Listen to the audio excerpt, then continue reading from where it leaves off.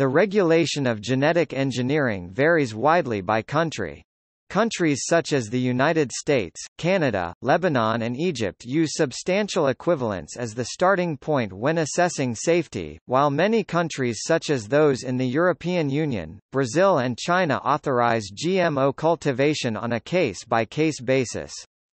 Many countries allow the import of GM food with authorization, but either do not allow its cultivation Russia, Norway, Israel or have provisions for cultivation, but no GM products are yet produced Japan, South Korea. Most countries that do not allow for GMO cultivation do permit research. One of the key issues concerning regulators is whether GM products should be labeled. Labeling of GMO products in the marketplace is required in 64 countries. Labeling can be mandatory up to a threshold GM content level which varies between countries or voluntary.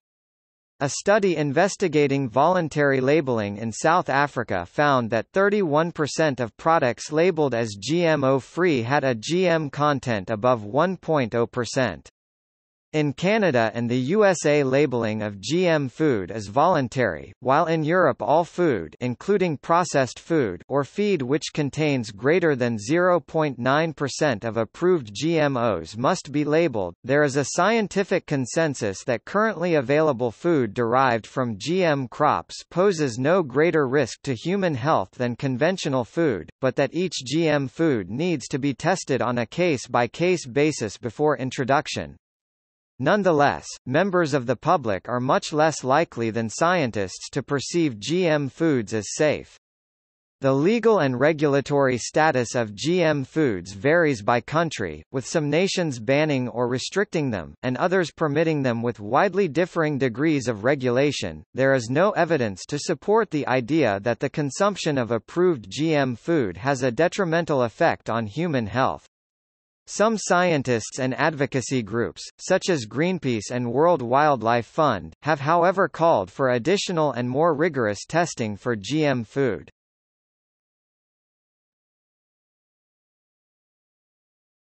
Topic: History The development of a regulatory framework concerning genetic engineering began in 1975, at Asilomar, California. The first use of recombinant DNA rDNA technology had just been successfully accomplished by Stanley Cohen and Herbert Boyer two years previously and the scientific community recognized that as well as benefits this technology could also pose some risks. The Asilomar meeting recommended a set of guidelines regarding the cautious use of recombinant technology and any products resulting from that technology. The Asilomar recommendations were voluntary, but in 1976 the U.S. National Institute of Health NIH formed a rDNA advisory committee. This was followed by other regulatory offices the United States Department of Agriculture USDA, Environmental Protection Agency EPA, and Food and Drug Administration FDA, effectively making all rDNA research tightly regulated in the USA in 1982 the Organization for Economic Cooperation and Development OECD released a report into the potential hazards of releasing genetically modified organisms GMOs into the environment as the first transgenic plants were being developed. As the technology improved and genetically organisms moved from model organisms to potential commercial products the USA established a committee at the Office of Science and Technology OSTP to develop mechanisms to regulate the developing technology.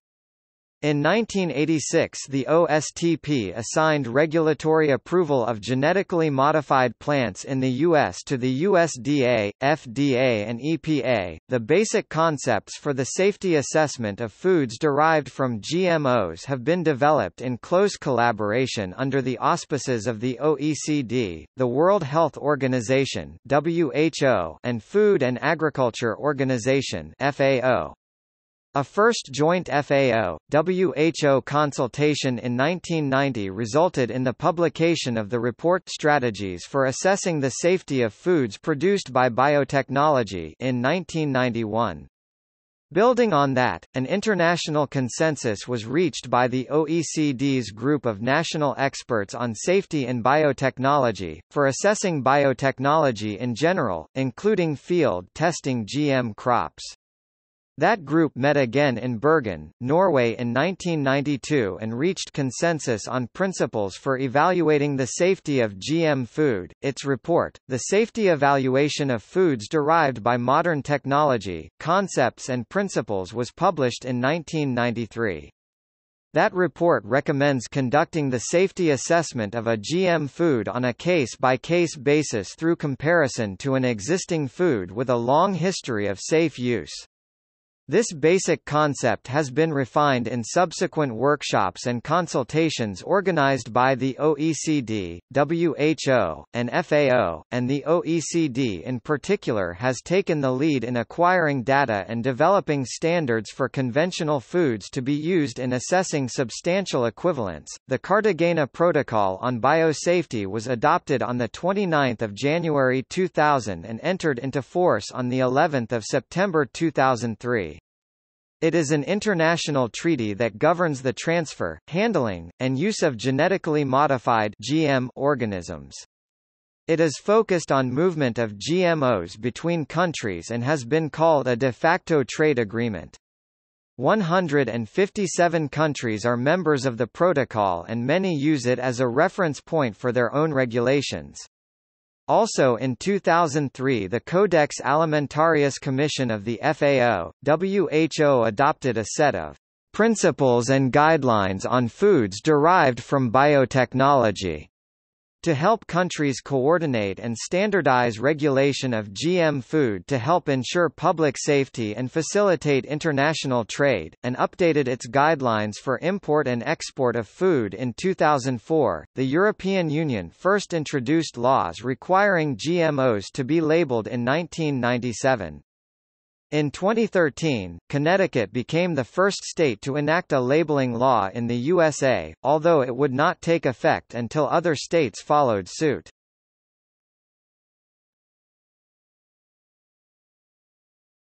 Topic: In the laboratory. Institutions that conduct certain types of scientific research must obtain permission from government authorities and ethical committees before they conduct any experiments. Universities and research institutes generally have a special committee that is responsible for approving any experiments that involve genetic engineering. Many experiments also need permission from a national regulatory group or legislation. All staff must be trained in the use of GMOs and in some laboratories a biological control safety officer is appointed. All laboratories must gain approval from their regulatory agency to work with GMOs and all experiments must be documented.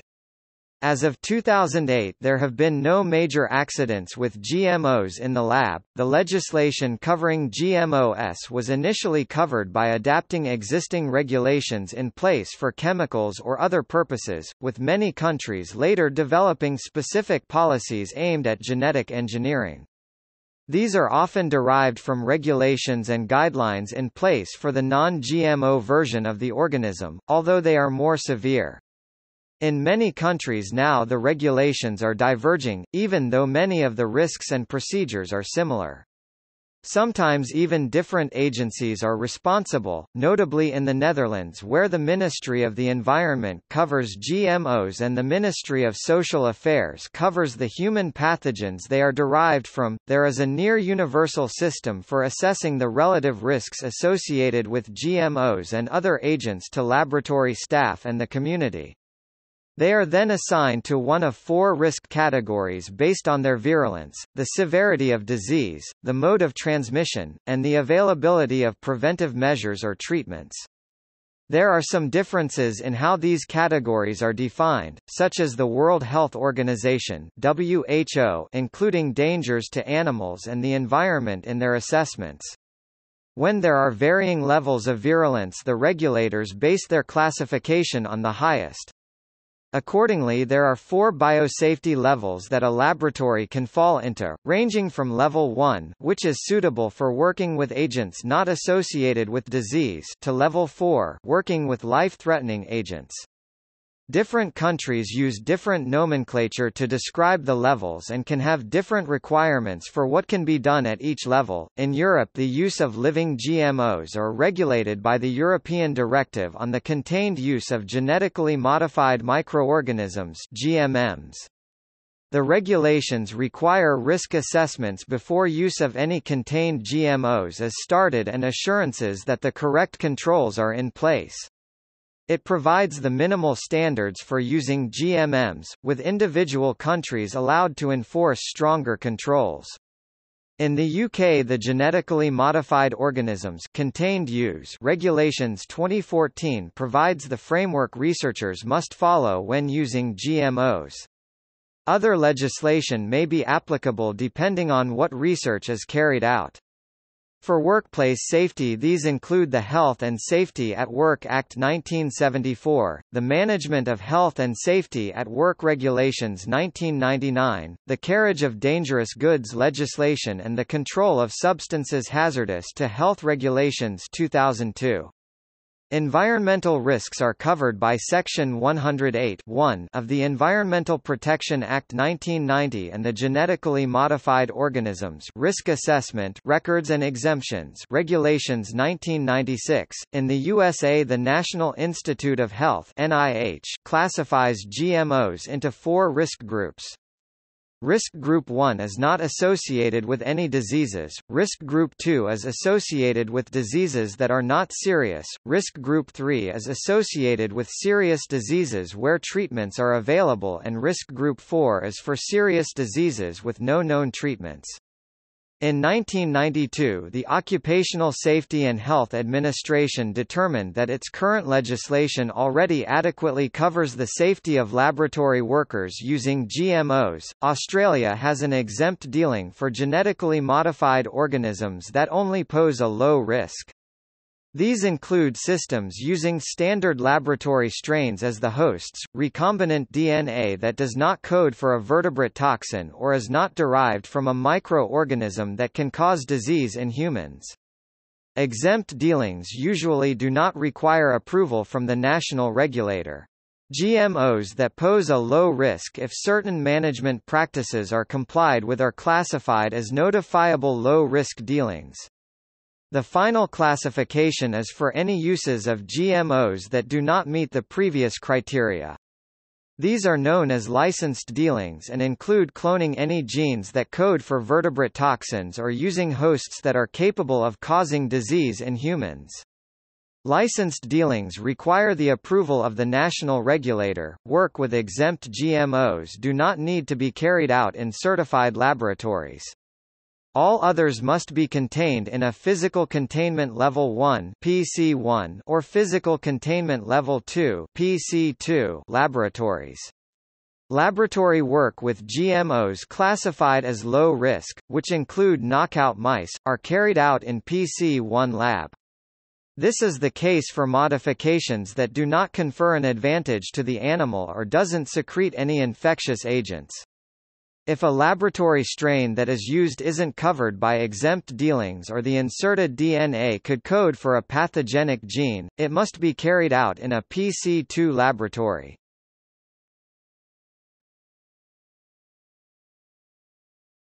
Topic: Release The approaches taken by governments to assess and manage the risks associated with the use of genetic engineering technology and the development and release of GMOs vary from country to country, with some of the most marked differences occurring between the United States and Europe. The United States takes on a less hands-on approach to the regulation of GMOs than in Europe, with the FDA and USDA only looking over pesticide and plant health facets of GMOs. Despite the overall global increase in the production in GMOs, the European Union has still stalled GMOs fully integrating into its food supply. This has definitely affected various countries, including the United States, when trading with the EU.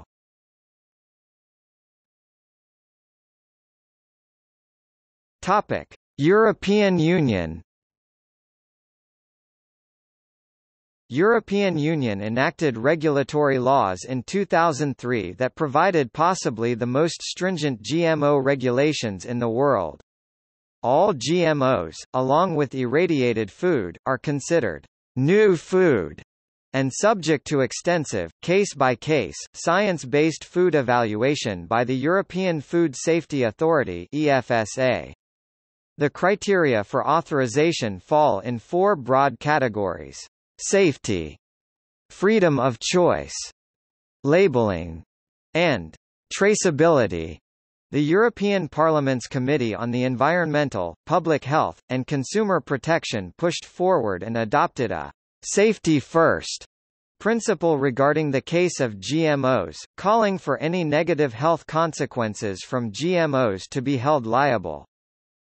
However, although the European Union has had relatively strict regulations regarding the genetically modified food, Europe is now allowing newer versions of modified maize and other agricultural produce. Also, the level of GMO acceptance in the European Union varies across its countries with Spain and Portugal being more permissive of GMOs than France and the Nordic population. One notable exception however is Sweden.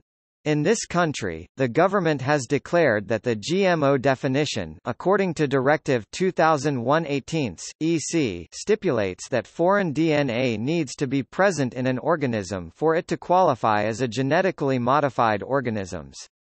Organisms that thus have the foreign DNA removed for example via selective breeding do not qualify as GMOs, even if gene editing has thus been used to make the organism. In Europe the EFSA reports to the European Commission who then draft a proposal for granting or refusing the authorization.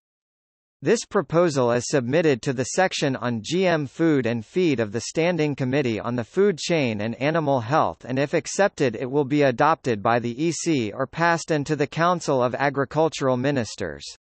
Once in the Council it has three months to reach a qualified majority for or against the proposal, if no majority is reached the proposal is passed back to the EC who will then adopt the proposal. However, even after authorization, individual EU member states can ban individual varieties under a safeguard clause if there are justifiable reasons that the variety may cause harm to humans or the environment. The member state must then supply sufficient evidence that this is the case. The Commission is obliged to investigate these cases and either overturn the original registrations or request the country to withdraw its temporary restriction.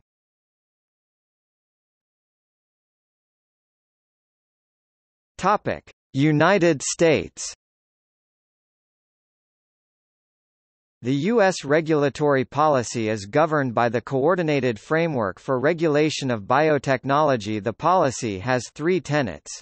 1 U.S. policy would focus on the product of genetic modification GM techniques, not the process itself. 2 Only regulation grounded in verifiable scientific risks would be tolerated, and 3 GM products are on a continuum with existing products and, therefore, existing statutes are sufficient to review the products. For a genetically modified organism to be approved for release in the U.S., it must be assessed under the Plant Protection Act by the Animal and Plant Health Inspection Service agency within the USDA and may also be assessed by the FDA and the EPA, depending on the intended use of the organism.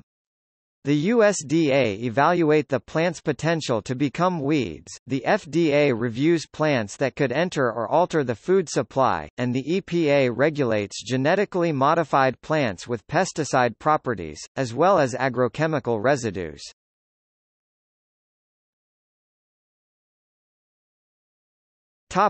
Other countries The level of regulation in other countries lies in between Europe and the United States. Common Market for Eastern and Southern Africa is responsible for assessing the safety of GMOs in most of Africa, although the final decision lies with each individual country. India and China are the two largest producers of genetically modified products in Asia. The Office of Agricultural Genetic Engineering Biosafety Administration is responsible for regulation in China, while in India it is the Institutional Biosafety Committee IBSC, Review Committee on Genetic Manipulation RCGM, and Genetic Engineering Approval Committee GEAC. Brazil and Argentina are the second and third largest producers of GM food. An Argentine assessment of GM products for release is provided by the National Agricultural Biotechnology Advisory Committee Environmental Impact, the National Service of Health and Agri-Food Quality Food Safety and the National Agribusiness Direction Effect on Trade, with the final decision made by the Secretariat of Agriculture, Livestock, Fishery and Food.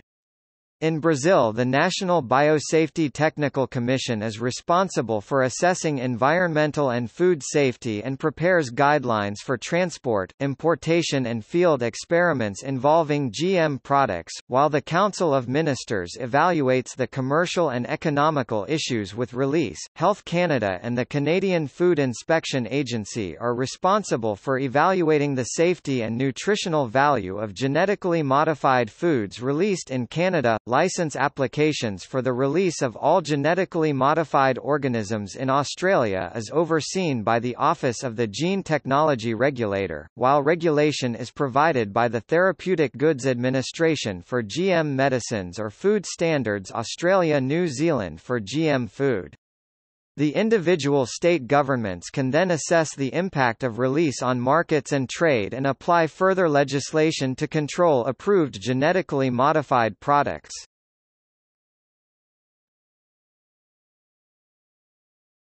Topic: Labeling.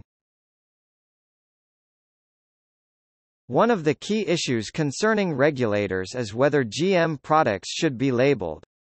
Labeling can be mandatory up to a threshold GM content level which varies between countries or voluntary. A study investigating voluntary labeling in South Africa found that 31% of products labeled as GMO-free had a GM content above 1.0%.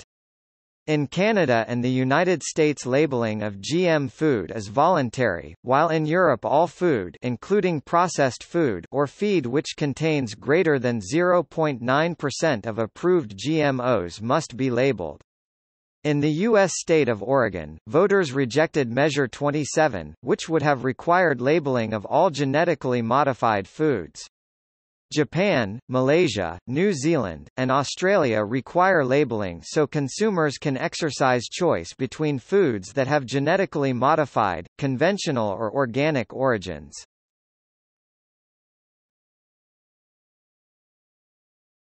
Topic: Trade The Cartagena Protocol sets the requirements for the international trade of GMOs between countries that are signatories to it. Any shipments contain genetically modified organisms that are intended to be used as feed, food or for processing must be identified and a list of the transgenic events be available.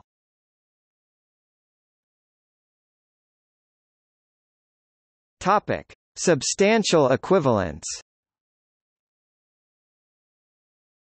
Substantial equivalence is a starting point for the safety assessment for GM foods that is widely used by national and international agencies, including the Canadian Food Inspection Agency, Japan's Ministry of Health and Welfare and the U.S. Food and Drug Administration, the United Nations Food and Agriculture Organization, the World Health Organization and the OECD. A quote from FAO, one of the agencies that developed the concept, is useful for defining it. Substantial equivalence embodies the concept that if a new food or food component is found to be substantially equivalent to an existing food or food component, it can be treated in the same manner with respect to safety i.e., the food or food component can be concluded to be as safe as the conventional food or food component.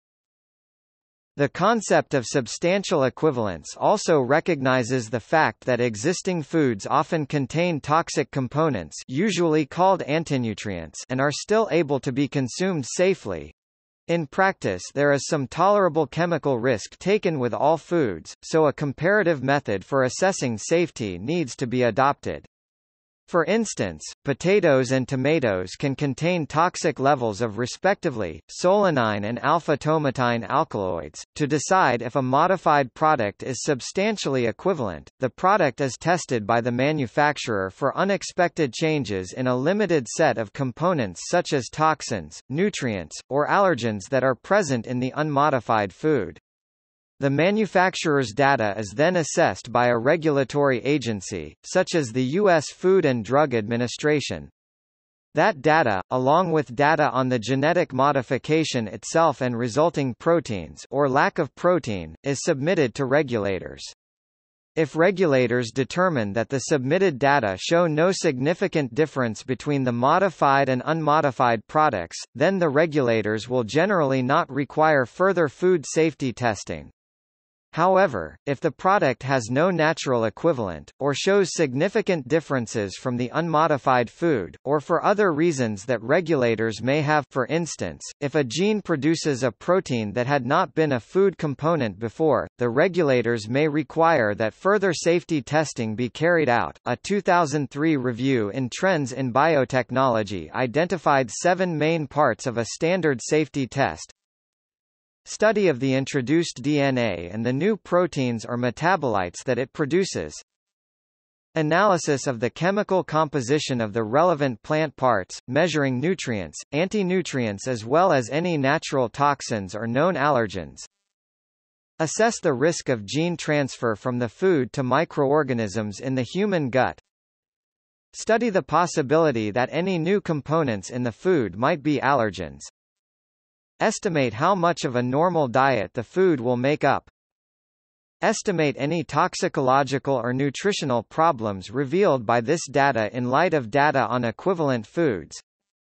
Additional animal toxicity tests if there is the possibility that the food might pose a risk. There has been discussion about applying new biochemical concepts and methods in evaluating substantial equivalence, such as metabolic profiling and protein profiling. These concepts refer, respectively, to the complete measured biochemical spectrum total fingerprint of compounds metabolites or of proteins present in a food or crop. The goal would be to compare overall the biochemical profile of a new food to an existing food to see if the new food's profile falls within the range of natural variation already exhibited by the profile of existing foods or crops. However, these techniques are not considered sufficiently evaluated, and standards have not yet been developed, to apply them.